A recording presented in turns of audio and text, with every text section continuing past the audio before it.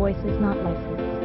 Please visit www.pepstra.com to purchase a license. This 2010 Chevrolet Traverse is brought to